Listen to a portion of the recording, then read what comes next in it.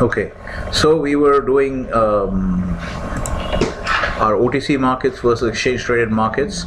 Let's go back to the. This is actually the best uh, source of your information. So it's a little bit. Um, it. It's a little bit uh, sort of very bare bones, uh, uh, you know, sentences, but this is how you should understand it. This is the better way to understand it. So mainly we want to focus on two uh, differences. And what I've done, I'm going to create a new uh, document in your in your folder, which will be titled OTC markets versus exchange traded. So I'll create for the topic. I'll create a document because I think putting it here is a little bit because sometimes we put in other stuff as well. It might get a little confusing. So let's just look at your. Uh, this is yeah okay i put this uh, thing in your document but I'll, I'll, I'll create a separate document with this topic so don't worry about that. Okay so this is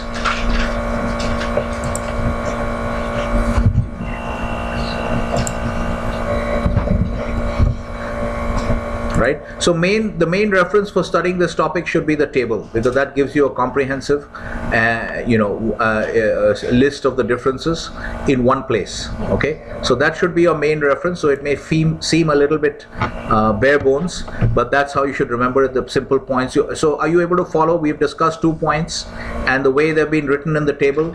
Are you able to relate to it now? Okay? This should be the way that you're studying instead of bugging up big chunks of text you should just be able to take some keywords okay one or two lines and then you should be able to understand the idea for yourself. And then later on you express it in the paper. You're not being evaluated for your english so you don't have to write like shakespeare. Even if you write wrong grammar no marks are deducted for wrong grammar in a finance exam okay? But basically we want to know whether you understood the keywords that apply in the situation all right?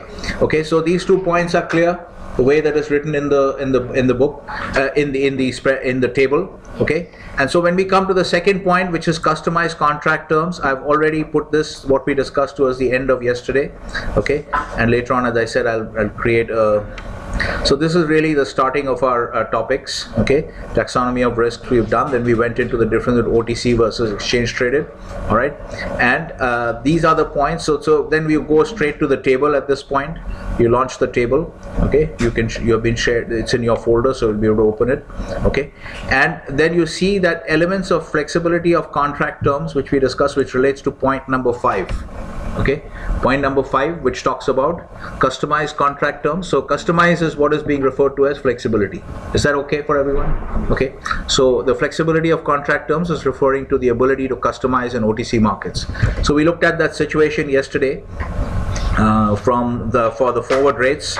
So and we and we highlighted that there are you you can uh, get the most common types of flexibility the most common aspects on which you have flexibility is we saw that ICI PLC was asking for a forward price on sterling on cable okay? And they wanted a non-standard maturity date not a rounded amount like six months forward three three months forward but they wanted six months and 14 days kind of forward date maturity. So that's an odd maturity so you can have this we already discussed so this is just for the purposes of writing it down in your notes that examples of flexibilities you have non-standard you can have non-standard maturity dates you can have uh, round non-rounded amounts okay? Like 635,319 Swiss francs. You can take that kind of quote also in the in the OTC markets okay? Uh, it's not considered abnormal at all. And amounts need not be rounded. And the third amount uh, the third point is that uh, the convention is to state always the amount is stated in base base asset terms okay i'm not saying base currency because that's too specific. We want to use base asset terms. So any market that you're dealing in the convention is always to state the amount in base asset terms. Like you want to buy 10 kilos of sugar okay? You don't say i want to buy you know uh, 65.37 million rupees worth of sugar okay? So um, so that also can be done away with in otc markets in OTC markets, you can also uh, do away with that convention of quoting the amounts normally in base currency, in base asset terms. You can even quote, and so the dollar Swiss market, if you want to go and trade in dollar Swiss, let's say, if we make this dollar Swiss, okay.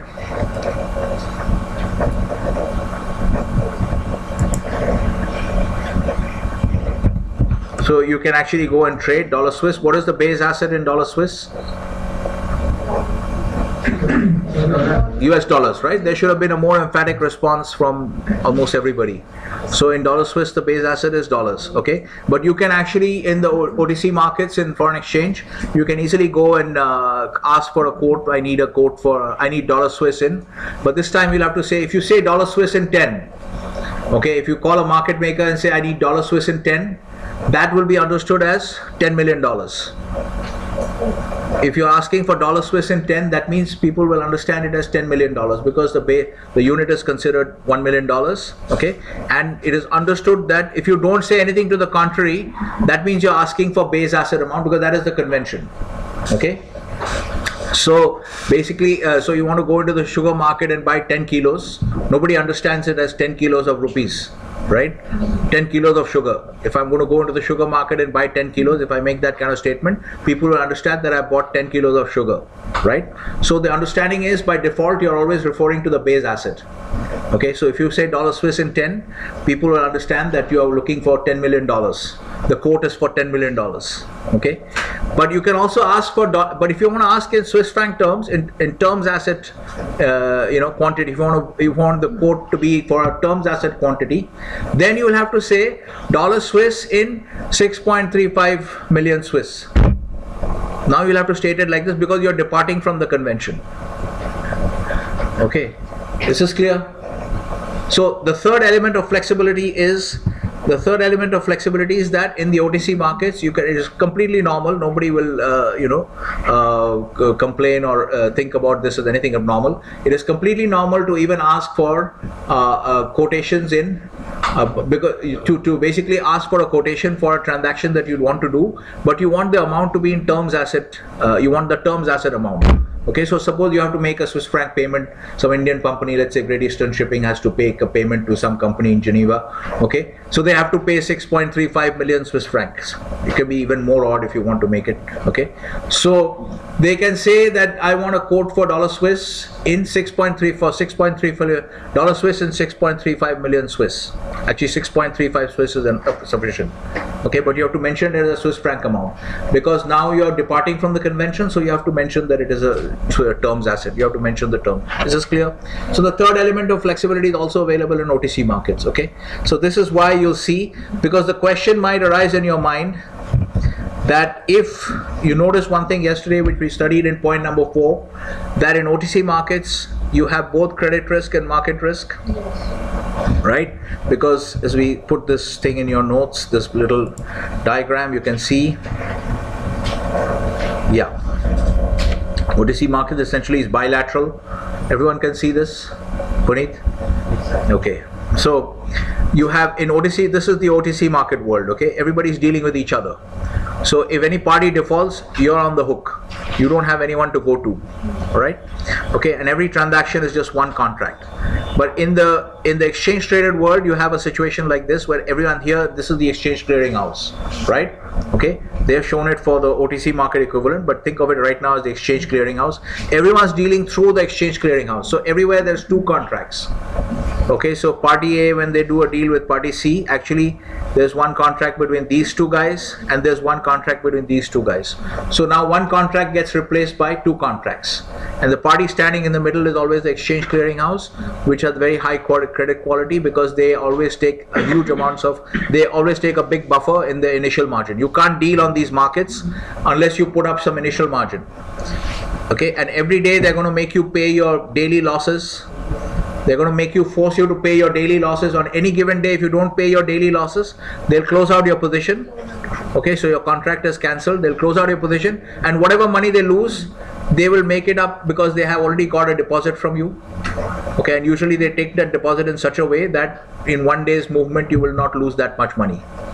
Okay, so like if you're likely to lose like one million dollars in one day's movement, you know the very high probability i mean in the uh, you know the outside chance of losing 1 million dollars they will take a deposit of 1 million one and a half million from you.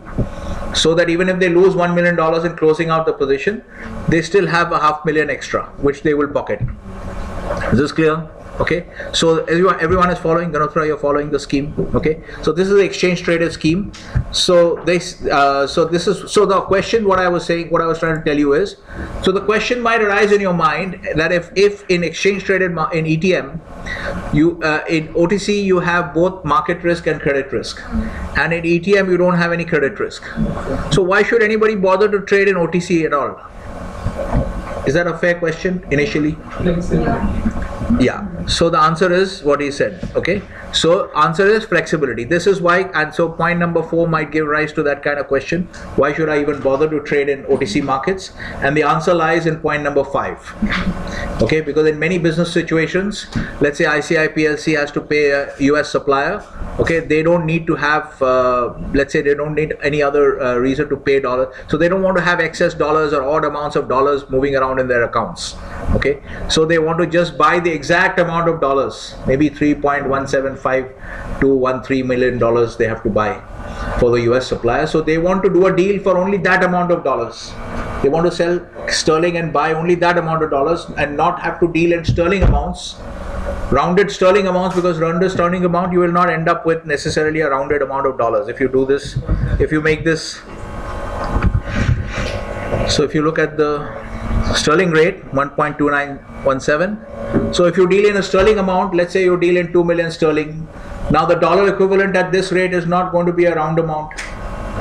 Is that clear so these people will have an odd amount lying around in the they don't want to have all these botherations okay?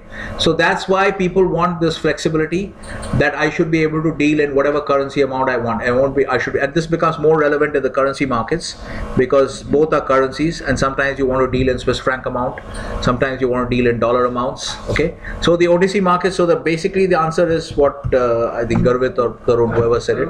Yeah that is basically flexibility. That's why and businesses need that flexibility all this kind of flexibility because suppose the payment also goes suppose the payment needs to go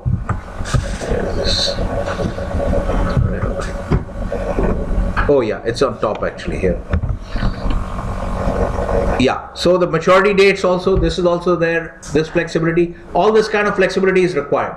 Because if i have to pay the dollar if i have to pay the us supplier six months and 17 days from today why should i do a deal for six month value? Because then for those 17 days my dollars are sitting in my account idle I don't need to have those dollars sitting there. Okay, they'll earn some interest, but I don't need to have the dollars for 17 days sitting in my account. I want to take the dollars for only that day where I have to make the payment. Okay, are you following? So businesses require this kind of flexibility because of their business situations. Okay, so that's why the OTC markets really exist. Okay, so this is the heart of the difference. If you understand this, you understand this. This is basically a balancing act. Yeah. So how the Use the mic if you can. If we since. then Yeah. how the other party is getting benefited out of this? Which other party? So if if someone is offering me dollars which I I want at 1.29 instead of 2 or 1 instead of a rounding figure. So how is the other party which is providing me that like Okay, okay. So you're asking, let's say, if, let's just say they want to deal in one sterling, they just need to pay 1.2917 dollars to the US supplier. Okay, they just need to pay this amount to the US supplier, and they call Barclays London. So ICI PLC is calling Barclays London, okay, for a price for a cable price for 1.2917 dollars. Okay, so her question is why should Barclays London bother to quote? Okay, so this is what basically market makers do. They are providing a service. So remember, Barclays London is a market making uh, operation in foreign exchange. Okay, so you'll see that later on when we have another thing called this this thing also. I think I put in your uh, which is a part which I need to discuss for you to understand the finance sector, the financial sector. What are the different terms to get rid of these misconceptions like M&As, investment banking, and all that. So you'll see one of the functions that people perform in the financial markets is market makers okay? So one of the functions that uh, firms uh, perform is the function of market making in all asset classes okay? So you could be market making in securities okay? In uh, debt securities equity securities you could be market making in commodity markets in uh, currency markets okay? So therefore these are these are market makers right? So remember why market makers what is the what is the business model of the market maker? What does he want are you following the answer to the question?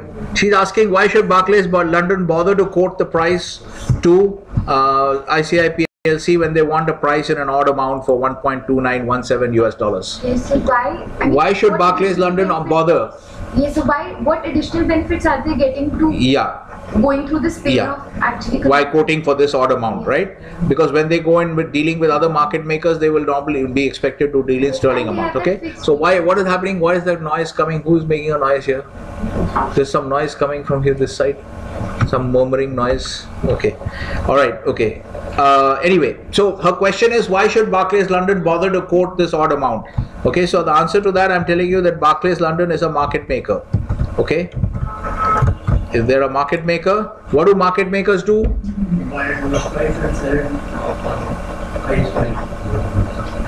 That is okay. Maybe you're referring to the bid offer spread. Okay. But otherwise, what is the business model? We said, what does the market, what is the ideal condition for a market maker? What is the kind of ideal condition? We made a distinction, right? Remember? We made a distinction because both market makers and directional speculators are speculators, right? But what is the difference between the two? What kind of condition does the market maker want? Directional speculator, they need a proper direction, like if it is going up in a um, constant Yeah. time. Yeah. And market maker doesn't. What does the market maker need? High? High movement. But that's what she said the directional speculator needs. You want to talk about like strong movement, you look at this, something like this. So strong movement here. What does a market maker need? Remember we discussed what is the ideal situation for a market maker? Ideal market environment for a market maker. We discussed this, remember? Yes? Yes? Remember? Are you following the question? Yes. We had distinguished between market makers and directional speculators by saying that they require different types of market environments to be successful. Ideally, ideal market environment is different for the two parties. That's why we made a distinction. Yes, Katarun, what is the answer? Lower bid and ask price. Yeah, that's if you have a liquid market, you will have a low bid and ask price. But you're for, everyone's forgotten what are the ideal. Then they want to have uh, no profit, no loss. It should be a, at the end of at the end of uh, at the end of the day, there it should be no profit, no loss. No, no. Then why should I do business if there's no profit, no loss?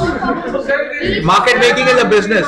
One minute. What we're saying is One minute. Of- Square of square of- Square Yeah. position. So anybody, is my question clear? Yes, your question. We said we distinguish between directional speculators and market makers, although they are both speculators. We said we want to make a distinction because the ideal market environment, which is obviously the environment which they make the most money with the lowest risk, okay? The ideal market environment for directional speculators and market makers is very different. So a directional speculator wants to see something like this, where you see it's going straight up, okay? Even better if you just focus in on this. Huh. So it's a strong trend. A market direction speculator needs a strong trend. And so what does the market maker want? Steady movement, right? So we said what do they want? They want not much movement. Yes. Okay? And they want what else do they want? So they want uh, uh, low, Higher number of trades, high volume. So what did we say that the market maker's ideal environment is not a lot of movement. You don't want such strong directional movement. You want ideally something like this, which is like you know it's going up and down, up and down. Assuming these are very short-term charts. Okay, kind of uh, caught in a range in this part if you see. Okay, here it's not moving around too much, right? So market maker wants ideally even smaller than that. Okay, market maker wants stuff to be moving around in a range, tight range, not a lot of movement. Okay, but high volume Otherwise, how will they pick up? What is the source of the market maker's profit ideally? so volume, volume. Source of the profit.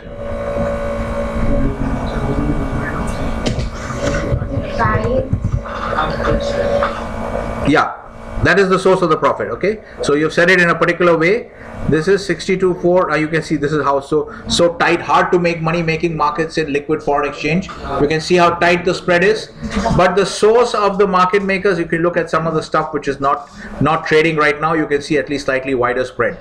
Microsoft market makers making prices 70 74. Okay, so this is the source of the market maker's profit. Is that clear? It makes sense. So if you have an ideal situation where we said what is the ideal situation? Not much movement. Okay, so let's make it zero. Let's push it really to the limit and make it zero movement.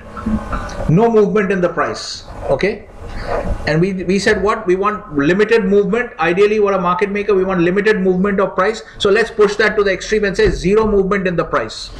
And what is the second thing we said? High volume. Okay, so now imagine the market maker in Microsoft is doing 70, 74, 70, 74, and he's doing, say, let's say, uh, uh, 35 billion dollars worth of business in the day. So he's making money now. Yes. Between say, every transaction, he, every every do- for every one share, for every one share, he's making four cents. Four cents. Are you following? So if you push it to the extreme, you can see the business model. So the business model ideally is not a lot of movement, okay? Because if there's a lot of movement, what might happen is he may get because everybody's not going to. It's not going to be like somebody comes and buys and immediately the next guy has to come and sell to everyone, and the first guy sells, the next guy has to come and buy from him. There's no such rule. There will be some imbalances during the day. There could be a period of heavy selling. So this guy becomes very net long, the market maker, because everybody's selling, and he's buying from everyone. He's making markets. The price takers are all selling. The price makers are therefore getting long. Because if I'm selling to you, that means you are buying. Are you following? So there, this is not how actual markets work, as you have seen yourself. Okay, there is all kinds of imbalance. Okay, if you remember that day when we early on when we bought TCS as a transaction, that day TCS was actually falling quite sharply. Okay, so you will have imbalances so if there is a lot of movement what might happen is and you're getting if there's an imbalance of orders then you may become net long in a market which is falling quite sharply. And that will become a problem. Okay? So like that's why you had these cases like this kind of a situation which you had in 1987 in the US stock market. This was a very sharp crash this is at the end of last year in the US stock market. Okay? So you had this kind of a dramatic fall. In this kind of situation sometimes market makers may refuse to make markets. Because what is happening is everybody is selling and these guys are getting net long. And what is the market environment? It's just falling quite sharply. Can you see that so if i'm net long at an average of this price because people are selling from this level onwards okay i'm long average at this at this level i'm long and the market keeps dropping i'm going to lose huge amounts of money are you following so therefore market makers don't want this kind of dramatic movement because there's a high risk that they may be caught on the wrong side Okay, so this is what happened in 1987. If you read up on it, the stock market crash of 1987, many market makers on the New York Stock Exchange, they're called specialists. They're supposed to make markets in certain stock. They have certain stocks assigned to them. Like Microsoft is assigned to a one specialist. Let's say like you can think of like say uh, HDFC Securities is the specialist for Microsoft. Okay, I'm just giving an example. Okay, so in the U.S. markets, you will have other brokers. Let's say Goldman Sachs is a specialist. Now these guys said refuse to make markets. Ordinarily, they're actually supposed to, they're given that privilege and they're supposed to make these two-way prices all the time. But they refused to make markets because the market was crashing and everybody was selling like crazy and they were getting net long and the market kept dropping and they were sitting on massive losses. So at some point of time, they said, I don't want to play this game anymore. I'm pulling out okay? Although they're not supposed to do that. So but that's what they did in these extreme panic situation. But this is just to bring out the idea that a market maker does not want to have this kind of dramatic movement in one direction. What he really wants is a like up down up down up down in a narrow range. Okay? So that there's not a lot of movement. And if you push that idea to the extreme not much movement. You talk about zero movement. And you talk about high volume with zero movement you can see that the market maker captures the bid offer spread. Okay? So the bid offer spread is the source of the market maker's profit. Okay combined with volume obviously. Per unit source of profit is the bid offer spread. Okay and per squared unit okay you buy and you sell it. And then the other the multiplier effect comes from the volume are you following? Everyone? You've forgotten this basic difference okay? Whereas the directional speculator wants this kind of stuff. If i buy it i want it to then move quite sharply up. I don't make any money if the stuff is just sitting there okay if here i'm not making money if i bought it here let's say it's going up going down going up going down i'm not making really any money okay? So this is the difference are you following now? So directional speculator is who give me an example from india give me an example of any company which will be functioning as a directional speculator. Is my question clear? Is my question clear? Give me an example of a company any company that you know in india in the financial sector Motilal Oswal. Right? So to the extent that they are asset management, any kind of asset management company, to the extent that they are managing PMS schemes or something like that, unless you you should have ideally said HDFC Asset Management or some asset management company, or any securities firm managing a PMS scheme. Right now, they've just raised the PMS limits to 50 lakhs now. Okay, PMS investment because one of your super seniors is running a PMS. Uh, he's basically like a PMS aggregator. His name is Gaurav. I think I don't know how many batches senior he is. Uh, I think maybe he's a Rajan's batch. I think so. Maybe three batches senior or something. So PMS limits have just been raised by SEBI. So any kind of person managing what you guys did in your uh, two projects, the previous two projects, you were functioning as directional speculators. Yes. Okay, because what were you doing? You were buying options. Why were you buying options? Because you expected, you bought this option at 0.76 and you wanted to really go up in value. You want the underlying and the I wall to move in such a way that this option which you bought for 0.76 will very soon in five days it will be worth 3.42 or something like that, right? So what you're seeing, what you're playing for is a big directional move in the option price. Are you following? Why you were a directional speculator? right? What were you that is what you were playing for. Similarly when you traded in uh, in uh, indian equities same thing you were playing for. We don't have any indian equity. Let's say you bought facebook. Okay so what are you doing when you buy at 9 198.40 the same thing you were doing in indian equities. What are you looking for? You're looking for a big move to the upside. Or if you go short amazon at 1735 you want a big move to the downside so you are functioning like a directional speculator because your business model is that you want big moves, hopefully in the right direction. Okay, is that clear? Now you understand the difference why we made this distinction between market makers and directional speculator. So now can we go back and answer Sakshi's question? Barclays London having given taking account of the fact that I have told you that Barclays London is a market maker. Barclays London Foreign Exchange Desk is the function that they are performing. One of the functions, these are firms. You can look at this and study it on your own. We'll discuss it in parts. Okay. So these are Bar- Barclays London is fu- functioning as a as a dealer and as a market maker, as a principal. So Bar- ICI PLC will call the corporate foreign exchange desk of Barclays London. Okay. So Barclays is a British bank. You might have you're probably aware of that, right? You're aware that Barclays is a British bank. Okay. So the so Barclays London they will call the corporate foreign exchange desk. Okay, and then the corporate foreign exchange desk will call the foreign exchange market maker for the price. Okay, for this amount. So now, so uh, Sakshi, so for so for this amount of sterling, 1.29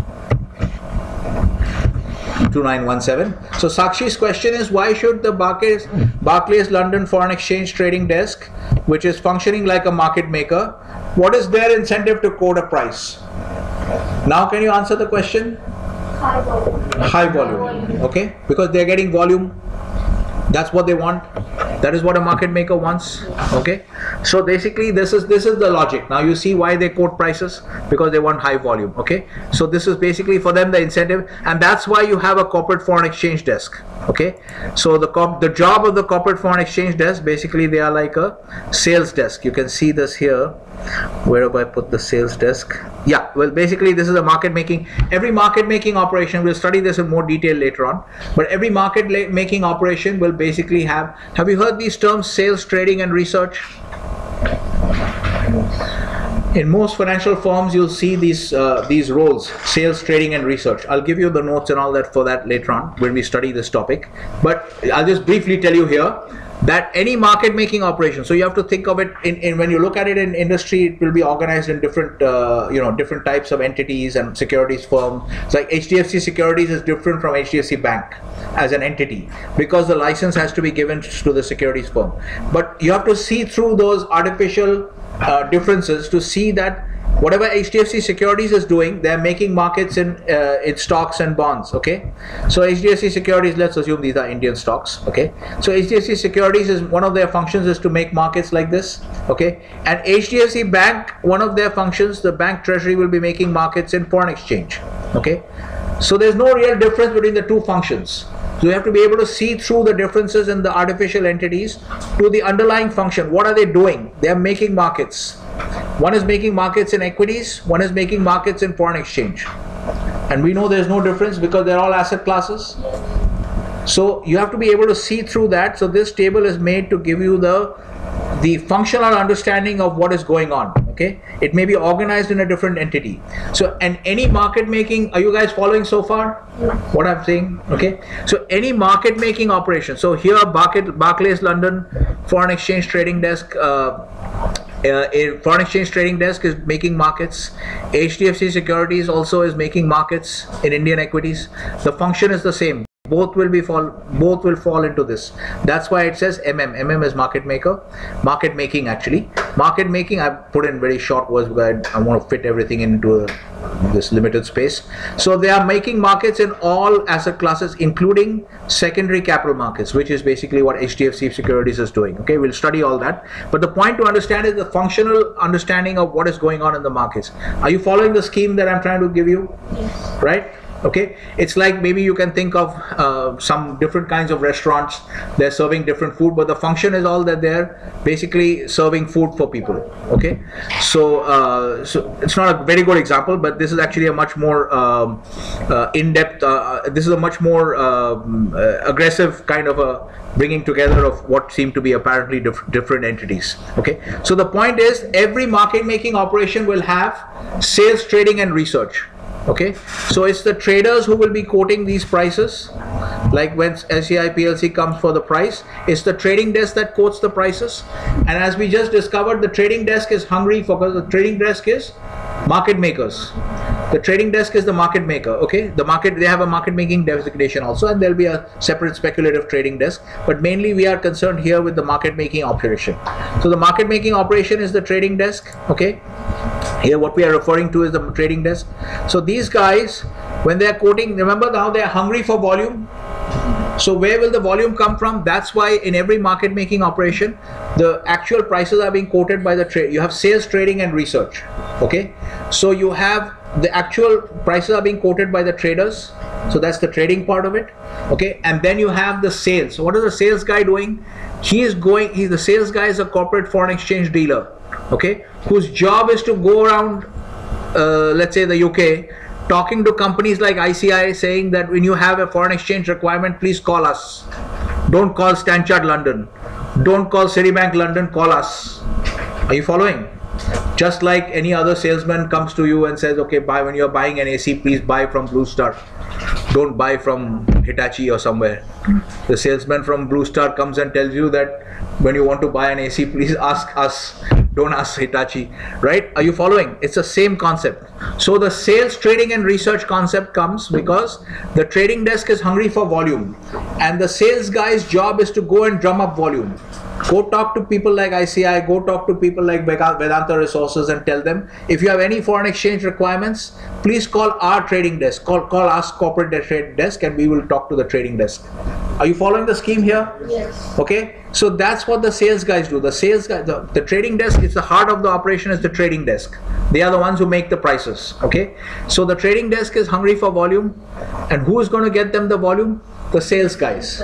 The job of the sales guy is to basically uh, you know drum up the volume. Just like if you talk about the blue star ac case the job of the manufacturing guys is to manufacture as many acs as possible but then who's going to sell them? The sales guys have to go and sell them right? Otherwise the inventory keeps piling up okay? So the sales guys and the sales trading research concept the sales guys um, i'll just put this briefly into your uh, discussion that we are having today we'll discuss it again later. Uh, so the other thing that we are discussing is um,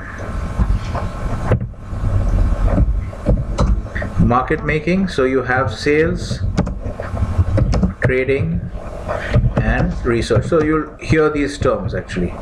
Uh, they are always mentioned together sales trading research and they're all part of one entity. What are they part of? They are part of this market making operation. No not this this. They are part of this market making operation okay? They they they fun- so the market making operation has sales trading and research. The trading guys are actually market makers okay? And what do they need? They are hungry for volume. Who's going to give them the volume? The sales guys. And the research is what the sales guys use to entice the customers to trade okay? So the customer might say okay why should i trade okay why should i buy sterling now why should i buy my dollars now because remember ici is looking to sell sterling and buy dollars ICI, the example we took is they want to buy 1.29. Are you guys following? Is everyone on board? Every, if you don't have a, if you have a problem uh, at any point of time, you should raise your hand and ask a question. Okay, like Sakshi asked a question just now. So you can see the answer to the question is long because you need to get the full context. Okay, and we also have to revise your past. Pra- so ICI needs to sell do- buy dollars, which means they need to sell sterling. Yes. Okay. So maybe ICI will say, why should I sell now? I think sterling is going to shoot up. I don't need to pay the money now. Maybe that payment has to be made after six months. Okay. Maybe the payment has have to be made after six months and 14 days. So why should I buy it now? I think sterling is going to go up. Okay. I think that's ICI, the, the ICI treasurer says that I think that sterling is going to go up. So why should I buy it now? Okay? Then the job of the research is basically you see the sale because the sales guy needs to drum up volume. The sales guy needs the ICI fellow to trade with his trading desk right now he can't wait for another three months right? He needs volume now okay? So the the research is what helps the sales guy to basically the sales guy when he goes to meet the customers he takes the research with him okay? Or the research is given separately to the customer okay? But the point is the research also feeds into the customer. You can think of the sales guy taking the research reports with him in hand okay? If you want to really imagine it that way. So the research is actually used what will the research say in this situation the ICI treasurer feels that I need to sell dollars, I need to buy dollars, sell sterling, but I feel that you know sterling is going to shoot up to 135 now. Okay, so why should I sell it now? I should be selling sterling when it goes up. Okay, so the job of the research here is in the case of this particular situation, the sales guy will say, no, no, our research by our economists and technical analysts and all these people, our research says that sterling is now going to crash to 125. So you better sell it now. Are you following the scheme? So now you see how a whole market making operation, everything, wherever you see it in equities, in debt, in foreign foreign currencies, and commodities, all market making operations work like this. Okay? At the heart of the operation is the trading desk. They are the guys who are making the prices, these bid offer prices. Okay? Any market that you're looking at, the heart of these where do these prices come from? They come essentially from market makers. Okay there could be some people putting in limit orders also which show up in the book in this case. But if you look at a pure market making uh, uh, display all these prices are coming from market makers. So a market making operation this is the trading desk that is making the prices. They are making the prices so they are running the risk that if you are quoting 198.08 to buy facebook somebody may give them 10 million shares of facebook at 198.08 and after that the price of facebook may crash. There is a risk. So then they'll be sitting on a huge loss. So this is what the market maker's risk is. And that's why we compensate him with this spread. That's why he's allowed to buy low uh, at a lower price and sell at a higher price this bid offer spread is basically the compensation because everybody needs to be compensated. You understand that? No one will take risk unless you compensate him. Insurance company is taking risk that something may happen to your car and then uh, they will have to pay you money to settle the claim? How are they being compensated by the premium? You're paying him premium otherwise he's not going to give you insurance you have to pay him premium. So therefore everybody will take risk but you have to give him sufficient compensation. So you have to think of the bid offer spread as the compensation for the market maker. Because that's the source of his profit do you understand now? That is the source of his profit per unit squared transaction buy and sell. The profit comes from the bid offer spread. Okay and we took the extreme example where we pushed down zero movement in the price. Very high volume and zero movement in the price. The profit is coming from the bid offer spread per unit profit right? And the volume multiplies the total profit right so now the point is basically the uh, the trading desk is taking the risk okay? And every market making operation will work like this. There will be a sales desk and a research desk. And everybody has understood the purpose of the research desk now?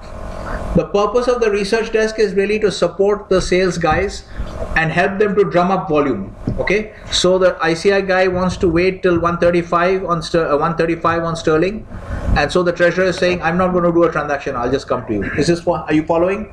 Okay. So I'm not going to do a transaction now because according to me, it's going to go up to 135 and then I'll sell it. It's much better for me. But the sales re- guy will show him the research. Look at our research. It says that cable is going to crash now to 125. So you better sell it now. So the research is used actually to induce the customers to trade. So the research is a tool for the sales guys. Are you following? You're, you're getting the scheme.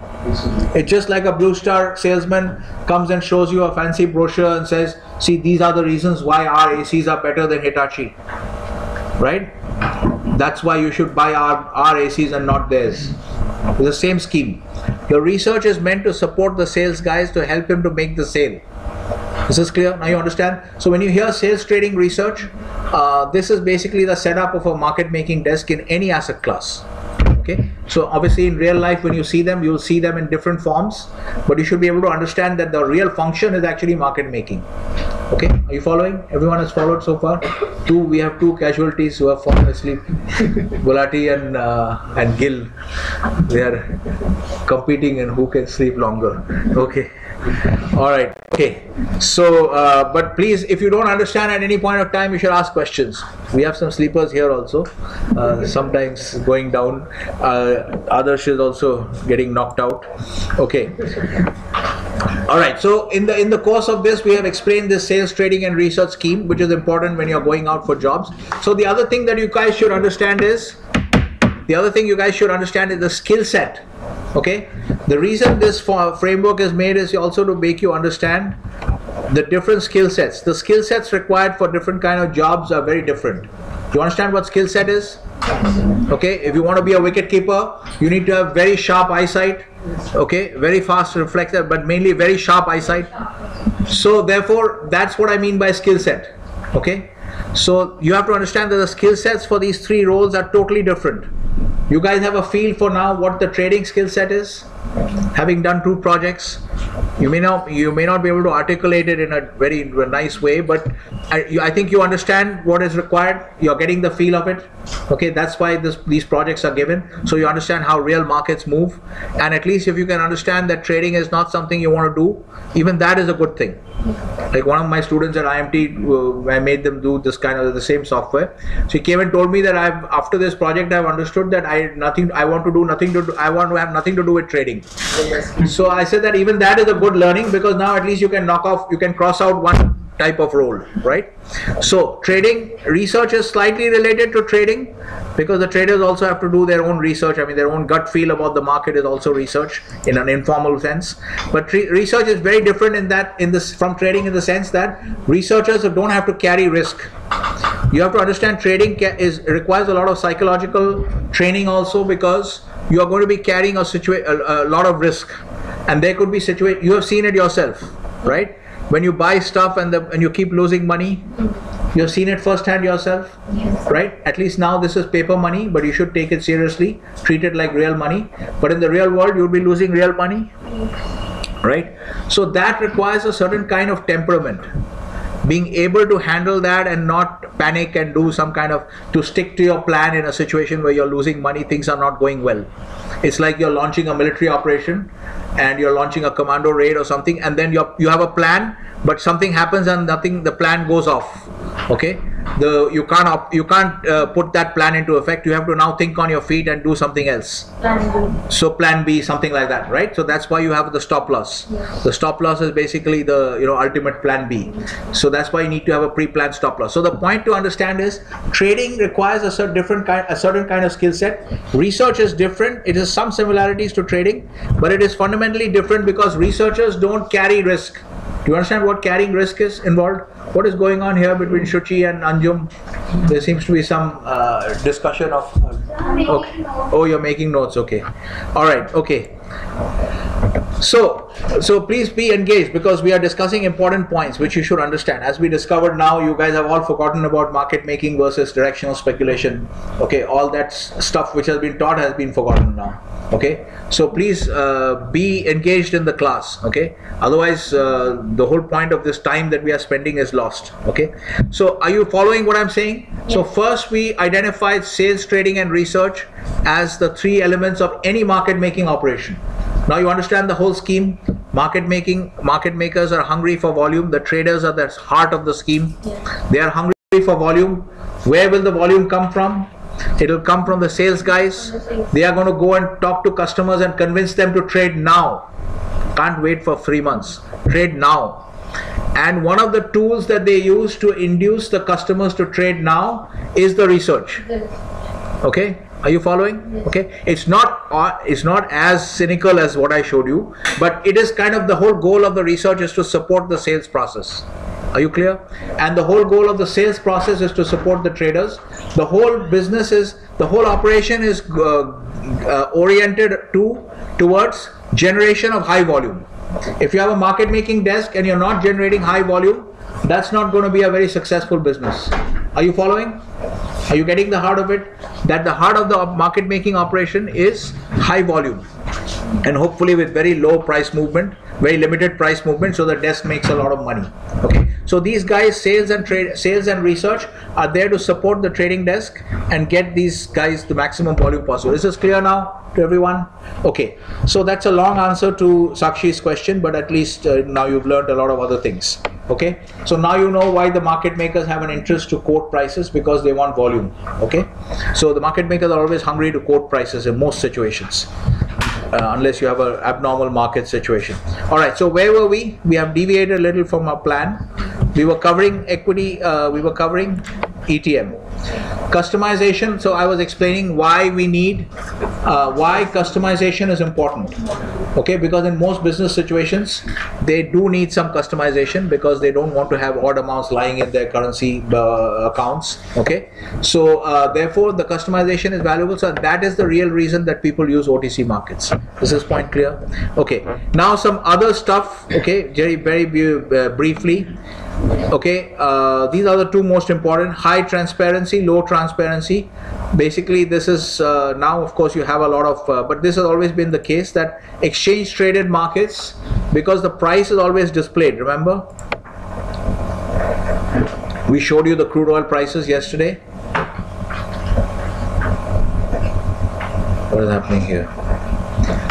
So the main point about exchange rate, remember when you guys go to the NSE, uh, when you go to the NSE page, okay, you can see, yeah, okay. So you can see here the, all right.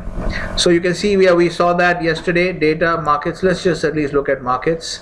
We looked at the energy complex yesterday and we looked at crude oil. We saw the prices. So you can pretty much go to any exchange uh, website and of course you guys have act like in this particular project that we are doing we have been given live live data okay? This is all real data okay? For gold for uh, euro dollars for aussie for copper. You can see the live data okay? So normally the exchanges will charge you a price for the live data because they want to make some money from the data they see the data is there because the data is coming from trading on their exchange NSE is coming, uh, NSE information is coming because NSE exists and people are trading on the NSE. That's why you can get NSE prices. But it so happens right now NSE is giving its data out for free, but they don't have to. They can easily charge for it if they want to. Okay, so most exchanges charge for the data. Okay, so uh, we have got it as part of the arrangement with Inter- Interactive Brokers because it's for students. They give us the data for free. They give us live data for free but in real life when you're trading for a uh, for a uh, asset manager you will have to pay a fee for the data but there is still transparency because you can get the data. You can see now live data. If you pay a fee it's not a huge fee okay? So uh, if you pay the fee you can see live what is happening in the gold market. These are real gold futures prices as they are trading okay?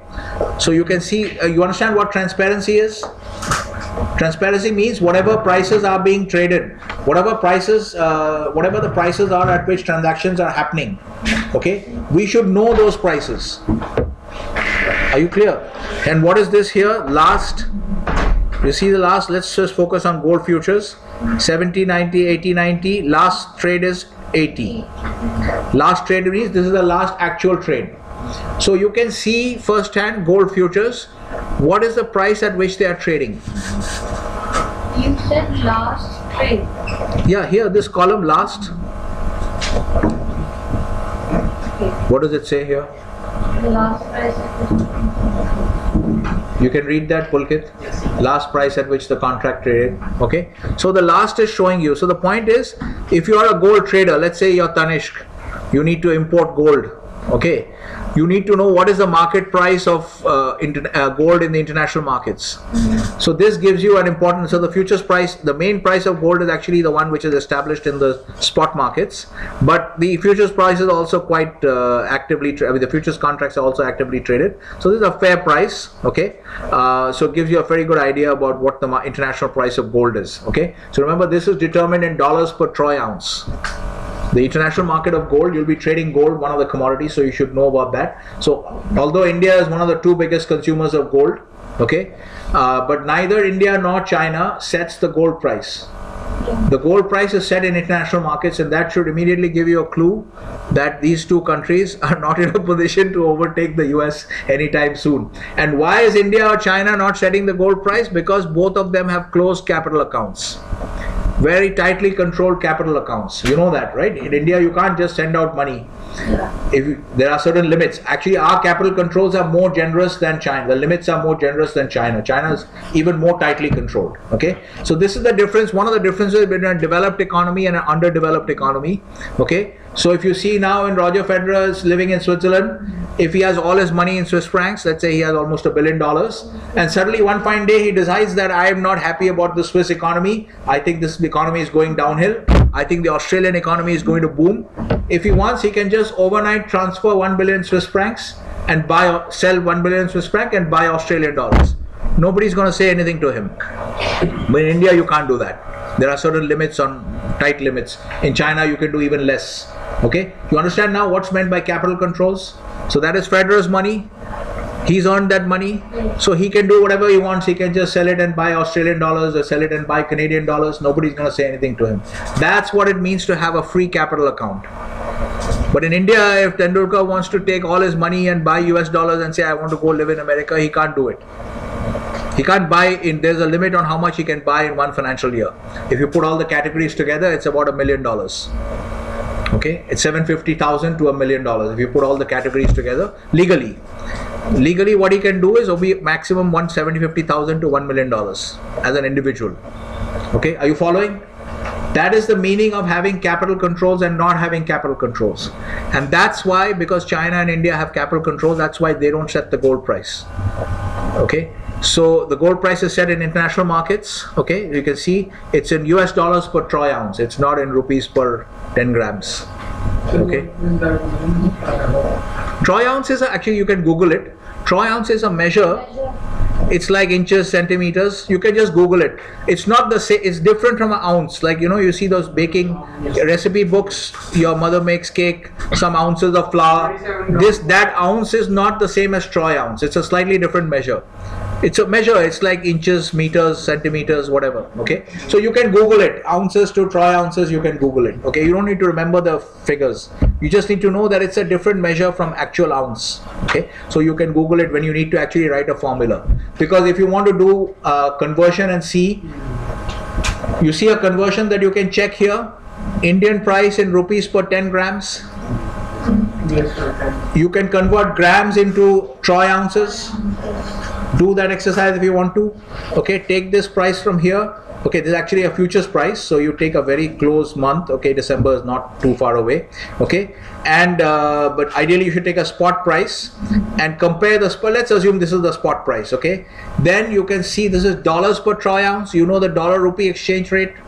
Yes, sir. You can figure out how to convert uh, grams into troy ounces and then you see what the what is the rupee equivalent of uh, what is the local market equivalent of this price are you following what i'm saying if you convert it at the dollar rupee exchange rate and you convert the ounce to gram troy ounce to grams are you following that you can make a synthetic uh, synthetic price for Indian gold? Yes.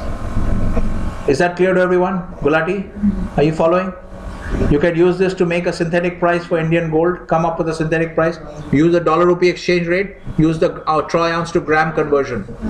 Now you look at that synthetic price on the one hand, and now you actually look at the gold price in the Indian market. You'll find there's a very big difference.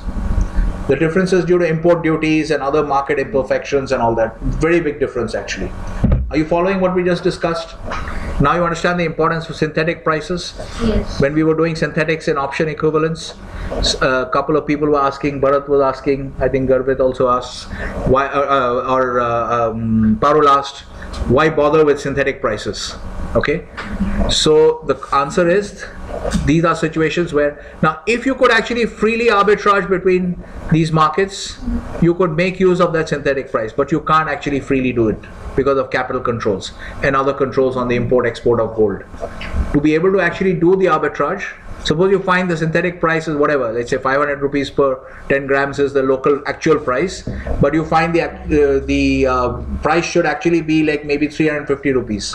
And if you could buy and sell at both prices at the same price, you could actually do an arbitrage transaction. But you can't because to do it, you need to be able to freely move gold in and out, physical gold, and you should be able to freely move dollars and rupees out in any amount.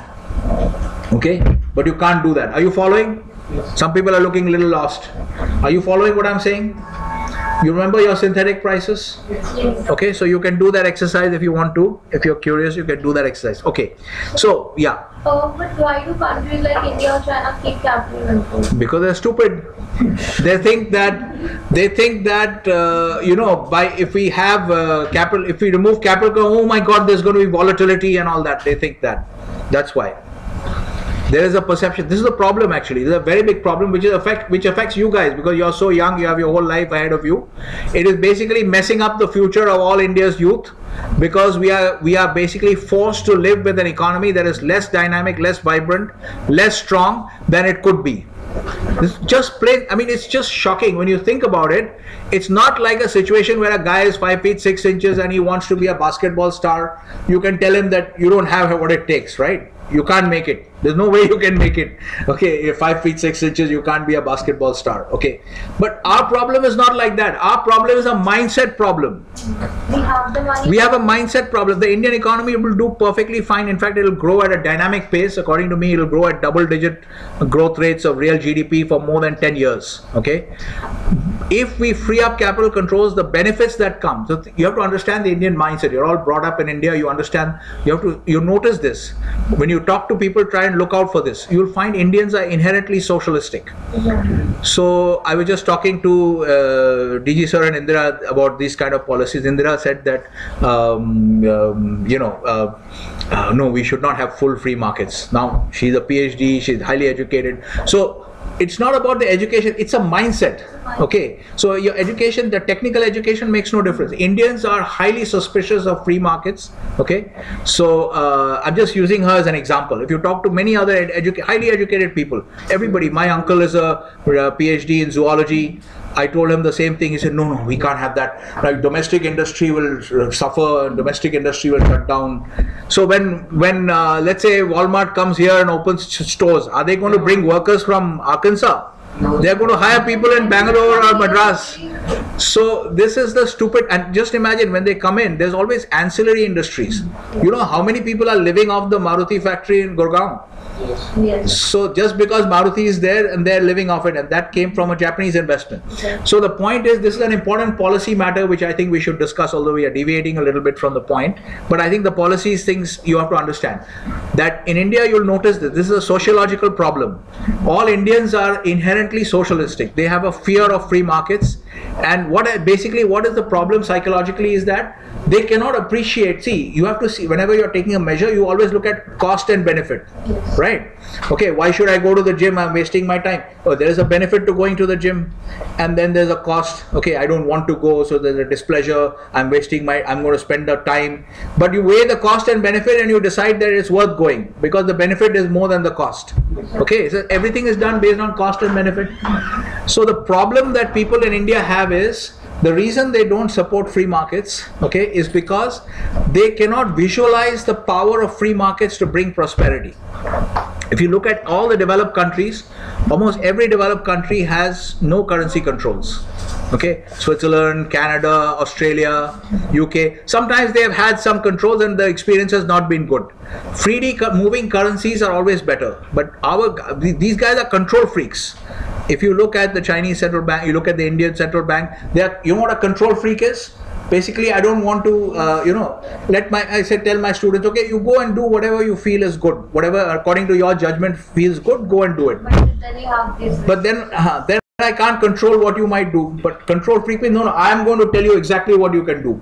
That's a control freak okay? So these guys are control freaks. They want to control the level of the currency okay? Although they say they don't want to. They want to control volatility. There's a fear of volatility. Are you guys getting bored with this discussion? No, sir. okay good. Because you need to understand this affects your life your your life. Your opportunities available to you are affected. This economy can really boom now you see how we solve the, all these problems and this department and this department congress bjp is all the same. Yes. no difference. Because they're all socialists. Their their advisors are all socialists. No matter what they do they do phds in the us and they come back and they say oh futures trading is speculative. You see some of these policies? Whenever like i don't know which commodity it was jeera prices started shooting up. Yes. okay? Some prices started shooting up and what they do is they go and interfere and then they stop the trading. Okay so imagine let's say whatever. Let's let's talk about um, let's we're not going to talk about jeera we're going to pull up an oil chart because i don't think we can get jeera prices here. Maybe we can. Okay. So let's say we have this situation right? So think about this uh, situation so since we are having this discussion let's have the discussion. Okay? Suppose you have this situation. Okay? Suppose these are like jeera prices or sugar prices. Okay? Now these are sugar prices and festival season is coming up. Okay? And sugar prices are shooting up and let's imagine the scale is much bigger than this. Sugar prices are shooting up. What the government will do is if it's shooting up the government will kind of say ban on sugar trading. That's what they do. That commodity jeera and whatever was shooting up some other commodity i remember. Onion, onion. any profu- anything shoot price shooting up stop futures trading. Okay that's what they do. You remember you've seen these policies? Okay. Now you see what is the problem with this? Okay. When onion there's a crop failure. Let's say onion crop fails okay? So it's very short uh, very short okay? Short in uh, supply okay?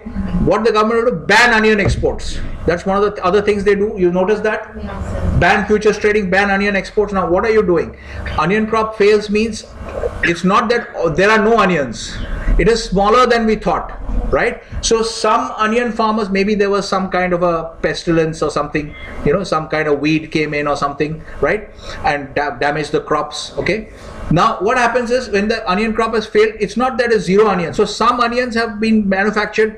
What maybe those those onion farmers maybe they took a lot of care they had proper risk management they had proper pesticides they took care of the crop okay? Now they have a crop now let them make some money otherwise you're not giving them incentives. Yes, that means what are you saying? The guys who did not take care of their crop did not have proper risk management. Their crop went for a toss. Some guys took care of their crop management properly risk management. They took care and now they you're not letting them make some money in a good market? Are you following the logic? Yes. you're destroying incentives everything in life is incentives okay? Most of theoretical economics is total garbage but there's only one rule which is always work which always works that people respond to incentives You'll see this firsthand everywhere. This is like a law of physics. People will always respond to incentives. Okay? So, what you're doing, are you following what is happening here? Yes. This is a very serious matter for a policy discussion. Okay? So, you understand. So, when we do things like this, ban onion exports. Let him export, let him earn some money. He has taken the care. You should reward people who have done solid work right taken care of the crop let him earn some money let him export local prices of onion will go up that's life deal with it you know everything is not this mindset another mindset you'll notice in india we have is when the prices go up okay the oh government should come in and intervene. Okay. When that is what the mindset is. You look at the people look at the people. I hope you guys are not getting bored with the discussion. Okay. But you'll notice that these are all features of the indian mindset. Okay. When oil prices go up oil prices if they shoot up okay then what will happen is the government should come and intervene. Because oil prices are becoming very modi ka fault hai. Or you know manmohan ka fault. It is manmohan's fault or modi's fault the oil prices are going up. No if oil prices are going up you do carpooling. You cycle to work. Okay you work remotely. Do some. You deal with it. Or earn more. Uh, or you earn more so you deal with it this but this you'll notice that this problem this mindset does not exist in india it's not widespread okay now garvit we have found one capitalist okay Sir, I agree with you, but I just don't agree on a point that uh, this should be done. But uh, before that, the uh, uh, other laws and amendments should be uh, taken into more consideration and yeah yeah other laws lot of things see lot of things need to change lot of things need to change but the main thing is that the government should not interfere in any market. Exactly. okay? No banning of onion exports jeera exports pepper exports no uh, you know opening the window closing the window. You can't manage an economy of this size with this kind of knee jerk this is called knee jerk policy making oh onion crop failed ban onion exports. Okay? So now we have excess sugar market sugar crop open the window for increase the quota for sugar exports. You know this is not the way to manage an economy of this size okay? You have to trust the power of free markets okay? So basically this is what uh, so what you're saying obviously everything has to be freed up. Total free I mean, we have this act called foreign exchange management act fema under which these rules are made which limit the amount of money that Tendulkar wants to send all his money to the US he can't do it. Okay he's capped at 750,000 to 1 million dollars. Where does this come from? FEMA we, we should tear up this act it's a useless act and it will serve no purpose. It, has all kinds of effects on the Indian capital markets because foreign investors, how much they can invest in Indian debt securities, it's also limited because we're all scared. Basically, it comes from a fear that, you know, if you have free markets, there will be speculation and there will be volatility. But what these people fail to appreciate is the Indian mind fails to appreciate that speculation brings what important thing? Why? You know that the uh, why these you see these spreads? Euro dollar fx dollar yen. Are they tight or are they wide. These are live markets. They're wide. they're wide.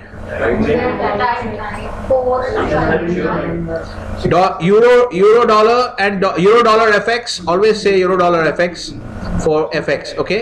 Euro dollar fx and dollar yen see the spreads. Are they tight? Very very tight. You don't want to be a market maker in these markets because very hard to make money okay why are they so tight? Because hmm, markets are liquid. Look at the look at the let's look at uh, we can look at dollar yen now. Let's look at our good friend the book trader. Have i shown you the book trader? No, sir. i'm sure i've shown you the top of the book. Top of the book i showed you. Oh, yes, sir. here's our book trader okay? So you can see the sizes okay europe hasn't even come in. London hasn't even come in. I don't think even frankfurt has come in at this point of time. Okay uh, maybe frankfurt has come in. But you see the sizes? The trade size can you see the trade size? Can you see the sizes here? Okay. Why? So this is what you call a deep and liquid market. Why is the market so so why the bid offer spread so tight? Because there are so many it's nothing but number of players what happens when you have more players? You have less competition or more competition? More competition. What does competition do? More competition means prices are likely to go down or high? High. No down. prices will go down because everybody is trying to sell okay? Everybody trying to sell their services. So this is what indian policymakers and the indian public does not understand that if you allow free markets free markets right now we are controlling the market. What are we essentially doing? We are controlling who can play and to what extent they can play okay? So if you lift all those constrictions uh, restrictions india is considered a bullish story in the world. People will come from everywhere. Number of players will increase. Volume will increase okay? So that has a positive uh, impact on liquidity. Can you understand that? Where are these tight bid offer spreads coming from? This 58 9 59 look at the tightness of the dollar yen spread. It comes from liquidity. Liquidity comes from number of players. What is happening is number of players are competing with each other where did why did this happen? Why was it not 58.9 and 59.9? because some smart guy thought saw the price was 59.9, 58.9 and 59.9. he said no no i need to i'm more desperate to trade. So let me narrow my offer.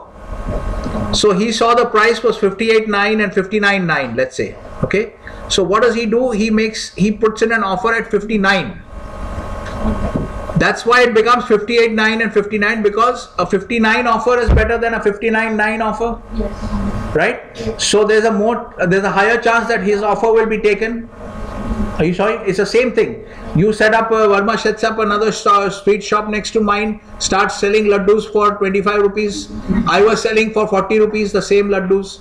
Now I have a problem because people are buying from him. The same logic.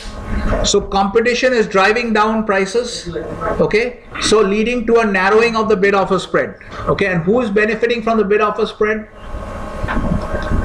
People like ICI PLC we discussed, they were buying, they are users of the market, those who use the market.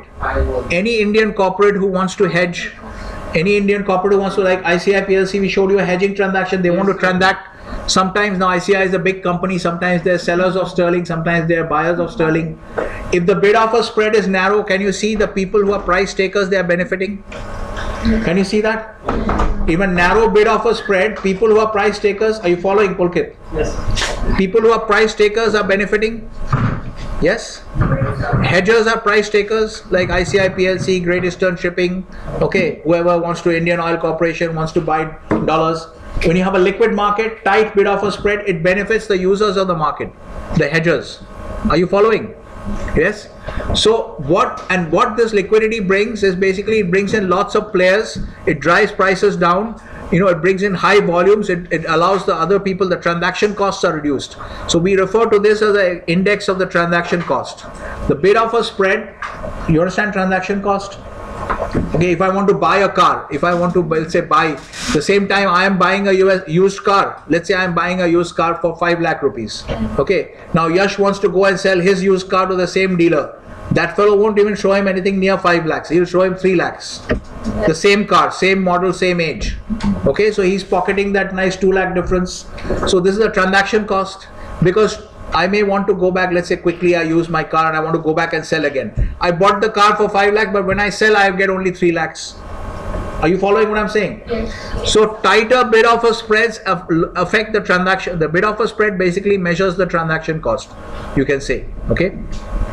The first level measure of the transaction cost. Are you following that? Yes. The bid offer spread gives you the transaction cost. Okay, you can think of the used car dealer example, which you have seen in real life. Okay, so now, therefore, the bid offer spread, so transaction costs go down, it benefits the whole economy. Right? So, the problem in the Indian psyche is that they don't have a sufficient appreciation of what can be achieved with free markets and they have this tremendous fear about volatility okay volatility if you see if i actually try to bring out one uh, i'll show you another chart another time okay but the point is if you see australian dollars australian dollar became freely convertible in 1984 okay if you see the volatility of the australian dollar before 1984 and after 1984 okay it's actually gone down. So it's a wrong notion but even if you have volatility does anyone can anyone look back on their life? Okay we're running out of time but let's uh, okay. So uh, can it, you know there's the other important point we want to discuss about volatility okay?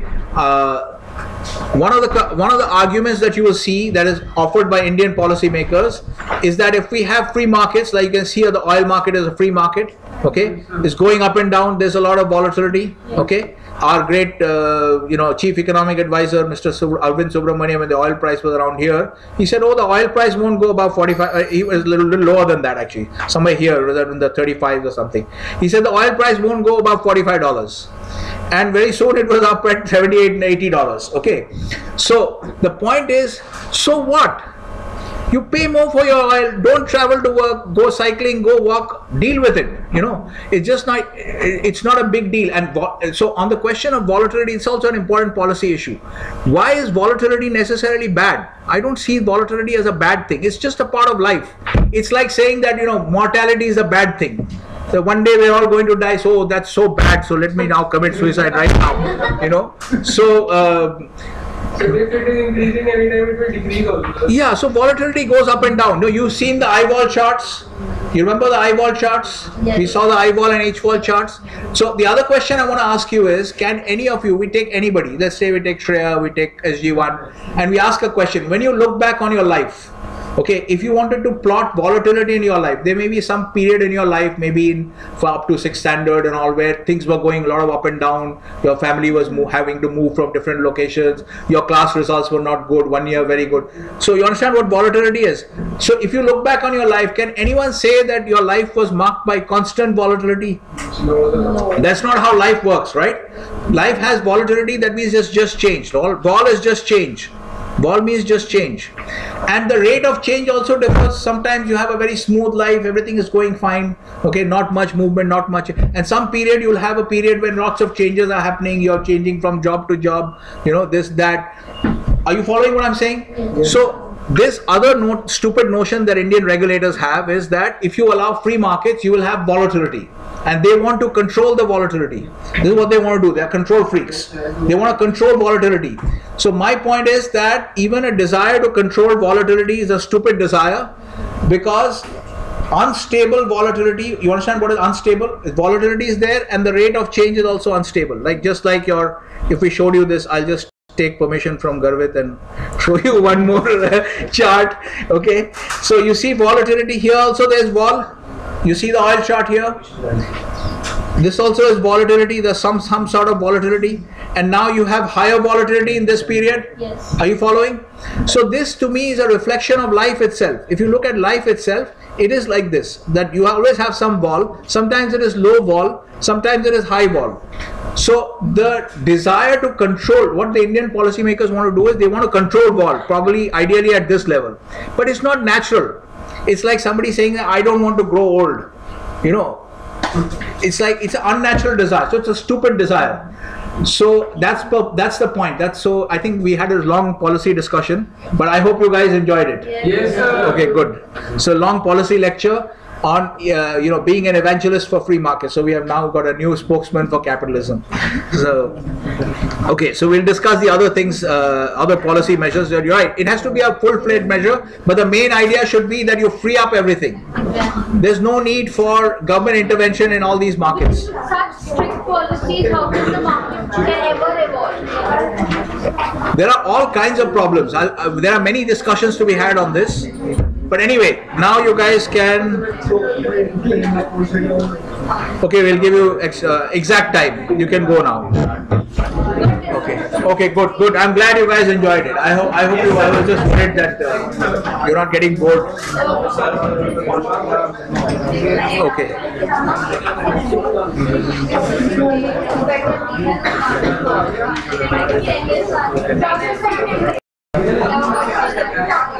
What else?